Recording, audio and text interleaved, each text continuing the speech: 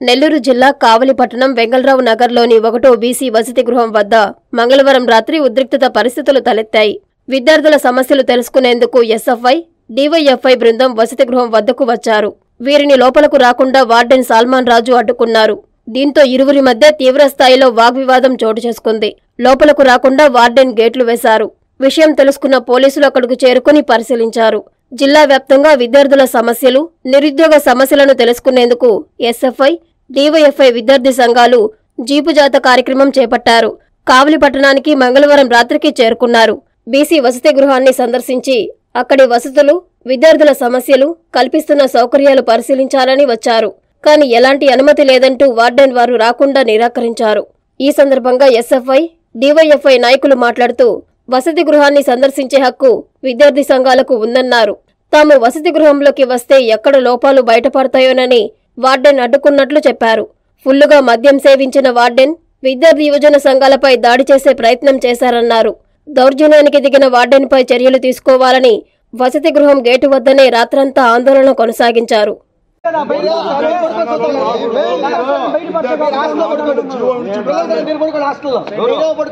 పడుకుంటారు మేము చూడాలి. నేను పడుకోను? నువ్వు పడుకోను మేము పడుకుంటాం పిల్లలు ఏ విధంగా మాకు తెలియాలి మేము ప్రభుత్వ అధికారులు మేము అడగాలి. అక్కర్లేదు. నేను ఒప్పుకోను. పిల్లలు ఏ విధంగా తీసుకోండి.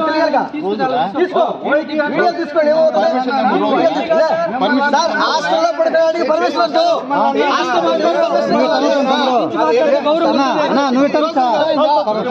మీకు సంబంధం లేదు మీరు గమ్మున ఉండండి. మీకు సంబంధం లేదు మీరు గమ్మున ఉండండి. చెప్తారా ఉండండి చెప్తారా తర్వాత చెప్తారు ఎవరో నాకు తర్వాత చెప్తారు నువ్వు చెప్పండి ఏమని చేసుకున్నట్టు అలో చేయను నేను అలో చేయను నేనే మాట్లాడుతున్నాను అవునయ్యా నువ్వు అలో చేయలేరు నేనే మాట్లాడుతున్నాను ఇది నా అధికారం ఇది నా అధికారం. ఎవరైనా మాట్లాడుతున్నాను సార్ వస్తారు సార్. సార్ మీరు గవర్నమెంట్ ఎంప్లాయీ వస్తారా? అన్ని ఏంది? మేము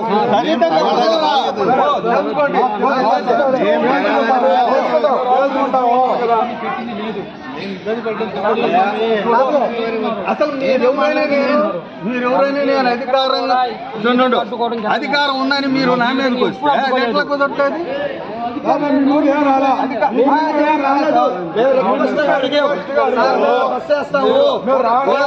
కార్యక్రమం ఇది. అడిగే మాట్లాడాలి. చెడు మాట్లాడలేదు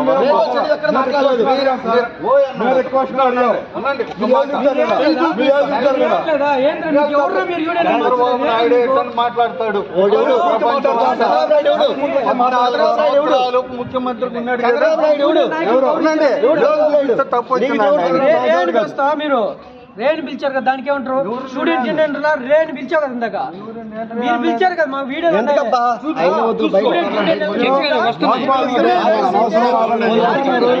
కాదు బాబు నేను ఆలోచన ఆలోచన పెద్ద విషయం. చేస్తారు. చిన్న విషయాన్ని పెద్ద విషయం చేస్తారు మీరు కంప్లైంట్ చేయండి. మీరు కంప్లైంట్ చేయండి. సార్ కంప్లైంట్ చేయాలి వద్దనేది మీరు చెప్పొద్దు మాకు. మాకు తెలుసు ఆ విషయం. సరే సరే మాకు తెలుసు ఆ విషయం? కంప్లైంట్ చేయాలి. అనేది వద్దనేది మాకు తెలుసు ఆ విషయం మీరు చెప్పొద్దు.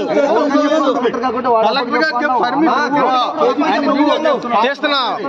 సెకండ్ టు సెకండ్ ఉందని ఇబ్బంది లేదులేండి. ఎవరితో కాకుండా కాల్తో చెప్పేదా అన్న అంతే ఆ, అదే అదే ఇబ్బందే లేదు నేను జోలు చూపించామంటే కాదు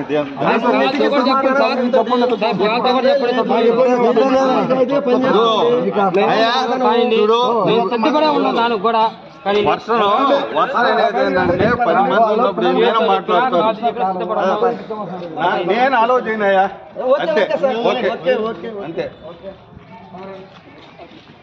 తల్లిదండ్రులనే అలౌ చేయం మేము.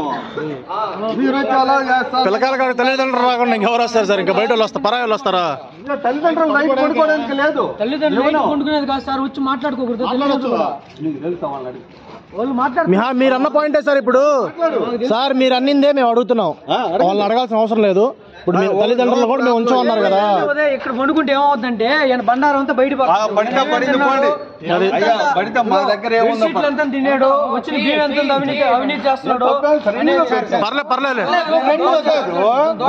చేయొద్దు అయ్యా చేయి పెట్టి తప్పైంది. అతను మాట్లాడు. మాట్లాడుతున్నారు కదా దూరం చేసి మాట్లాడండి. ఆ, నువ్వు మాట్లాడు. ఆయన చెప్పి అతను ఒక నిమిషం ఉండు. ఒక నిమిషం. మీరు ఎవరండి నేను వర్కర్. స్టాఫ్. మీరు వాటిని పక్కన పెట్టేస్తుంటే తప్పేమండి ఎందుకు? అందుకోసం అంతా ఒకటే. ఓకే ఓకే అలాగే సార్. పర్లేదు పర్లేదు అలాగే. సారు కలెక్టర్ కానీ అందరినీ పర్మిషన్ అదే మీరే అడగండి.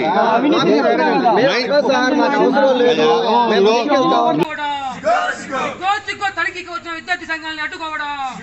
గోచికో హాస్టల్ తనిఖీకి వచ్చిన విద్యార్థి సంఘాలను అడ్డుకోవడం. సస్పెండ్ చేయాలి బీసీ హాస్టల్ సల్- సల్మాన్ రాజుని. సస్పెండ్ చేయాలి. బీసీ హాస్టల్ వార్డెన్ సల్మాన్ రాజుని. తనిఖీకి వచ్చిన విద్యార్థి సంఘాలను అడ్డుకోవడం. తనిఖీకి వచ్చిన విద్యార్థి సంఘాలను అడ్డుకోవడం.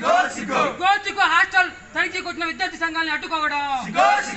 చేయాలి బీసీ హాస్టల్ సల్- సల్మాన్ రాజుని. సస్పెండ్ చేయాలి. బీసీ హాస్టల్ వార్డెన్ సల్మాన్ రాజుని.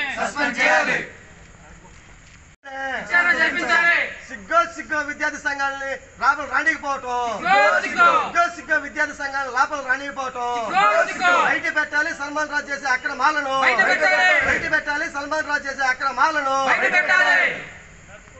నా పేరు రామన్న డివైఎఫ్ఐ రాష్ట్ర కార్యదర్శి. ఈరోజు ఈ జిల్లాలో విద్యారంగ సమస్యలు నిరుద్యోగ సమస్య మీద డివైఎఫ్ఐ ఎస్ఎఫ్ఐ ఆధ్వర్యంలో నెల్లూరు జిల్లాలో ఈరోజు జీప్ జాత ప్రారంభమైంది. ఈ జాత ముఖ్యంగా కాలేజీలు స్కూల్స్ హాస్టల్స్ సందర్శిస్తూ అలాగే నిరుద్యోగ సమస్యలను తెలుసుకుంటూ దాదాపు ఐదు రోజు ఆరు రోజుల పాటు యాత్ర ఈ జిల్లాలో జరుగుతుంది. అన్ని నియోజకవర్గాల్లో అన్న మండల కింద జరుగుతుంది. ఈ యాత్రలో భాగంగానే ఈరోజు కావలిపట్నానికి ఈరోజు ఇక్కడికి హాస్టల్కి రావడం జరిగింది. ఇది బీసీ హాస్టల్ ఈ హాస్టల్లో విద్యార్థుల యొక్క కష్టాలని వాళ్ళు తిండి వాళ్ళ దోమల సమస్య ఏంటి రాత్రిపూట వాళ్ళతో పాటు బస్ చేసి వాళ్ళ సమస్యలు అధ్యయనం చేయడం కోసం గతంలో కూడా ఎస్ఎఫ్ఐ ఇటువంటి కార్యక్రమం చేస్తుంది. అందులో భాగంగానే ఈరోజు ఈ హాస్టల్ సందర్శన కూడా రావడం జరిగింది. కానీ ఇక్కడ హాస్టల్ సందర్శనానికి వస్తే ఈరోజు హాస్టల్ వార్డెన్ గారు అలాగే ఇక్కడ ఉన్న కొంతమంది సిబ్బందితో దాడి చేసే ప్రయత్నం జరుగుతుంది. ఎవరు రావడానికి లేదు ఇది మాది కలెక్టర్ వచ్చినా ఏం బీక్కోలేడు మా చేతిలో ఉండడం చెప్పి పద్ధతిలో ఈరోజు వాళ్ళు మాట్లాడుతున్నారు. మొత్తం కూడా ఇద్దరు వార్డెన్లో ఇంకొక హాస్టల్ వార్డెన్ కూడా ఉన్నారు ఆయన పేరు తెలియదు ఇద్దరు తాగేసి ఉన్నారు. అందుకనే మేము అడుగుతున్నాం ఇప్పటికైనా జిల్లా అధికార యంత్రాంగం వెంటనే స్పందించాలా? ఈరోజు అంటే నాయకులే లోపలికి పోయి వాళ్ళ పరిస్థితి తెలియలేని పరిస్థితిలో ఉంటే ఈరోజు ఈ హాస్టల్లో ఏం జరుగుతుంది అనేటువంటిది ఈరోజు ప్రశ్నార్థకంగా ఉంది. అందుకనే వీళ్ళు గుట్టురాట్టు చేయాల్సిన అవసరం ఉంది. ఇప్పటికైనా కలెక్టర్ గారిని కూడా సంభాషిస్తూ ఏం మమ్మల్ని ఏం కలెక్టర్ కూడా చెప్పుకొని ఏం చేస్తాడు అనేటువంటి పద్ధతిలో కలెక్టర్ గారిని కూడా గౌరవం లేకుండా మాట్లాడటం అంటే వీళ్ళు ఏ రకంగా వ్యతిరేకపోతున్నారో అర్థం కావాల్సి ఉంది. అందుకనే వెంటనే ప్రభుత్వ యంత్రాంగం జిల్లా కలెక్టర్ గారు ప్రభుత్వ అధికారులు వెంటనే స్పందించి వారి మీద కఠినమైన చట్టపరమైన చర్యలు తీసుకుపోతే మాత్రం రేపు పెద్ద ఎత్తున ఆందోళనకు దిగుతాం.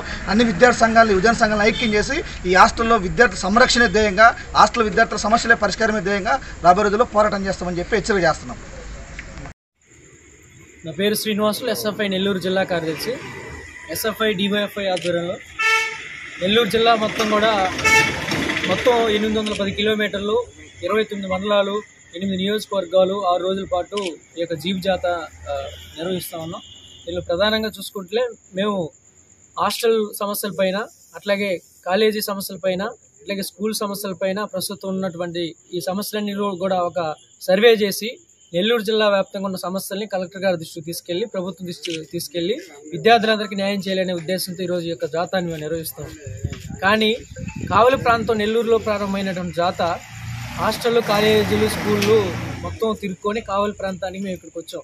వచ్చిన తర్వాత ఆల్రెడీ మా ఎస్ఎఫ్ఐ కమిటీ డివైఎఫ్ఐ కమిటీ ఒక వారం కిందటే అక్కడికి వచ్చి పాంప్లెట్ ఇచ్చి అక్కడ వా- వార్డెన్ గారిని మాట్లాడి మాకు మేము మా యూనియన్ వాళ్ళు వస్తారండి మీకు ఏదైనా సమస్య ఉంటే చెప్పమని చెప్పి చెప్పడం జరిగింది. కానీ మళ్ళీ నిన్న కూడా మేము మాట్లాడాం. అప్పటికి వెళ్ళి ఇక్కడ సమస్యలు ఏమైనా ఉన్నాయని చెప్పి స్టూడెంట్స్తో మాట్లాడడానికి వెళ్ళిన వెంటనే ఆల్రెడీ వార్డెన్ గారు బయట ఉన్నారు. ఆయనకి ఫోన్ చేశాం. సార్ మీరు రాండి మీరు వచ్చి మీరు వచ్చి వస్తే మాట్లాడతామని చెప్పి. ఆయన వచ్చే ముందే మేము నిలబడుకున్నాం. వచ్చి రాగానే మీరు స్టూడెంట్ యూనియన్ అని చెప్పి గ్యారంటీ ఏంటి?